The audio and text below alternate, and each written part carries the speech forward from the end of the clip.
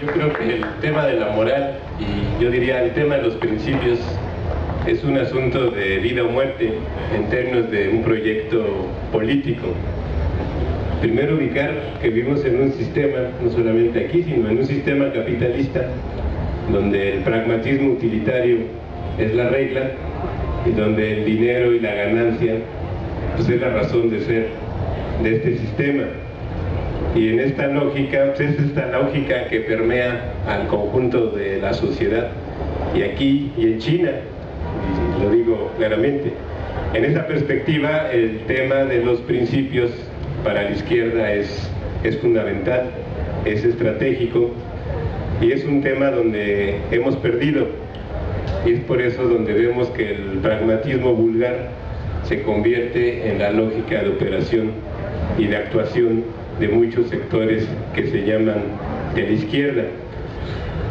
Por tanto, el tema que se ha dado a llamar en América Latina la batalla de las ideas, o que aquí dice López Obrador, la, la lucha por un nuevo pensamiento, la lucha por una nueva conciencia, eh, tiene que ver mucho con este tema de la moral, con el tema de los principios y de qué es lo que nos da identidad para actuar en la vida pública y este es un tema, un tema central que mañana hay que retomar en términos de la perspectiva que podemos tener como proyecto de izquierda, como proyecto progresista para hacer mayoría y cambiar este país.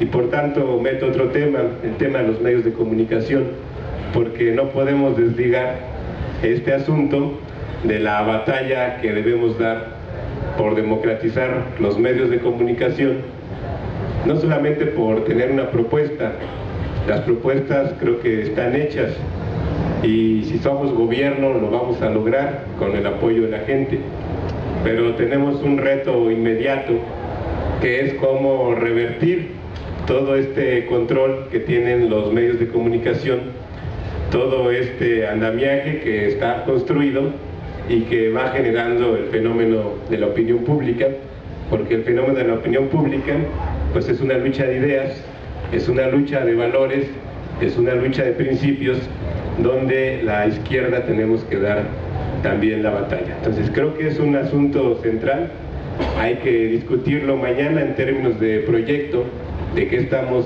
pensando en este tema y en concreto en términos de la práctica política, cómo vamos a enfrentar al duopolio televisivo, cómo vamos a derrotar el cerco mediático, incluso a la luz de las experiencias que estamos viviendo, pues no solamente en México, en América Latina y en el mundo, porque este es un problema estructural del sistema que estamos viviendo y que tenemos que actuar y derrotar en en lo inmediato, porque nuestra alternativa, nuestra opción es electoral, es pacífica, y por tanto implica construir esta nueva corriente de pensamiento en la sociedad acompañada de un programa sobre pero también ese programa tiene que estar anclado en los valores que le dan identidad a un proyecto de izquierda. Entonces creo que es un tema que hay que retomar también en el debate.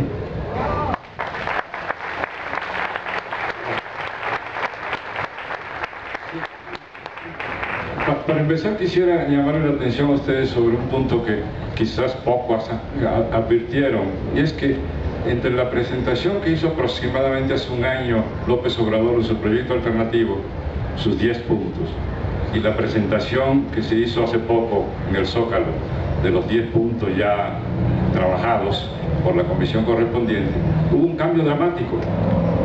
Y es que el punto de nuevo pensamiento que tiene que ver con nueva moral, nueva ética, etc., estaba en el punto 10.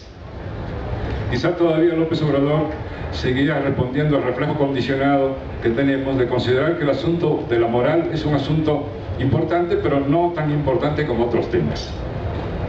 Es un asunto medio filosófico, medio religioso, eh, concluye siempre en moralismo.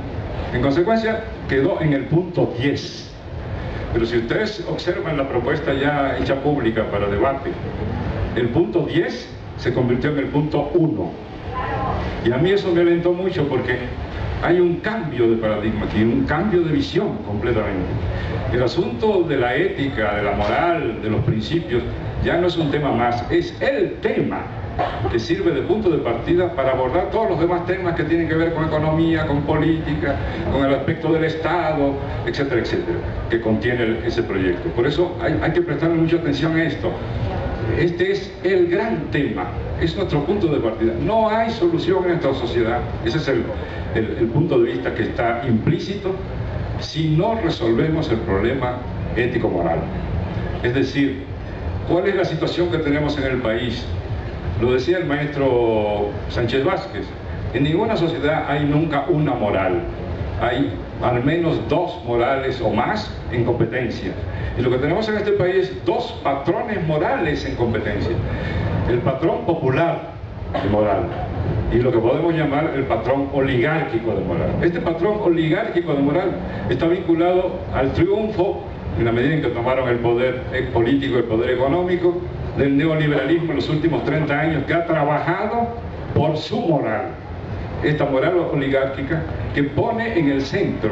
Por eso estoy de acuerdo con lo que se ha dicho aquí. No es un asunto de personas que son corruptos o no. Es un problema estructural que tiene que ver con las instituciones, como señaló el maestro Valadez, pero yo diría también que tiene que ver con la estructura socioeconómica. Si no cambiamos la estructura de las instituciones y no cambiamos la estructura socioeconómica, esto no puede resolverse. Veamos la estructura socioeconómica. ¿Cuál es la moral oligárquica básica? La moral oligárquica básica neoliberal es sostener todo a partir del mercado. El mercado ha sustituido a Dios. No sé si ustedes se han dado cuenta. En la visión de los neoliberales, Dios ha ido acumulando todos los atributos, las características, los valores que las grandes religiones le atribuyen a Dios. Piensen ustedes que al mercado se le llama para empezar la mano invisible, es invisible como Dios.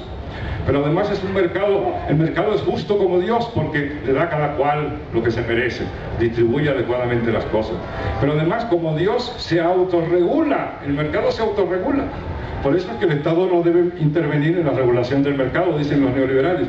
Y así sucesivamente, si ustedes analizan la visión del mercado que se ha impuesto, es una visión que concibe al mercado con las características de Dios. Y en consecuencia de ahí deriva todo un, mundo moral que dice, el, el que tiene éxito no es el que se comporta adecuadamente con sus semejantes, el que es solidario, etc. Es el que gana más, es el que es capaz de acumular más, es el que no se interesa por el otro. Yo siempre recuerdo este propósito a Dios cuando en la Biblia le pregunta a Caín, Dios ya sabía, pero ladinamente le pregunta a Caín, ¿y qué pasó con tu hermano Abel? ¿Y qué respondió Caín? ¿Acaso yo soy el protector, el... tengo que preocuparme por mi hermano? Dios no le respondió, pero la respuesta sociopolítica de la izquierda es que sí, que sí tiene que preocuparse por su hermano.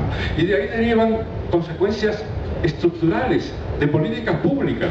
La derecha no se interesa por el otro, no se interesa por los jóvenes, no se interesa por los viejos, no se interesa por los estudiantes, no se interesa por el otro. En la moral de la izquierda, y eso se expresa en sus políticas, no es nada más teoría, es práctica, esa moral implica el que siempre nos tenemos que preocupar por el otro, por nuestro hermano. Y por eso la política pública de la izquierda es una política que se preocupa por los otros, que protege a los otros, que se preocupa por su bienestar. En la moral oligárquica, eso no, no, no, entra. Lo único que preocupa es la tasa de ganancia. Nosotros pertenecemos, espero, a, esa, a una de esas dos moralidades en competencia. A la moral que podemos llamar la moral popular, que tiene entraña histórica, raíces muy profundas, y que se basa en principios como el de la solidaridad, el de la visión comunitaria, el de preocuparse por el otro, etcétera, etcétera, el de distribuir, el de dar, no solo recibir. Todo eso está siendo destruido poco a poco por la moral oligárquica que se, está imponiendo en el país. Hay que detenerla, frenarla echarla para atrás y crear una nueva moral pública, moral económica, que se funde en esas raíces que México tiene en abundancia, robustas, que nos permitirían, en consecuencia, empezar a resolver los problemas del comportamiento individual, porque no es un problema de moralismo, del comportamiento, la tendencia o la inclinación inmoral de las personas. Es un sistema que nos lleva hacia esos comportamientos, que se ha dicho muy bien, permeando incluso a la propia izquierda. Porque aprenden todos los días en una sociedad que funciona en todos sus aspectos, con una moral egoísta, individualista, no comunitaria, no solidaria, y los hace velar por sus propios intereses, por su propia persona.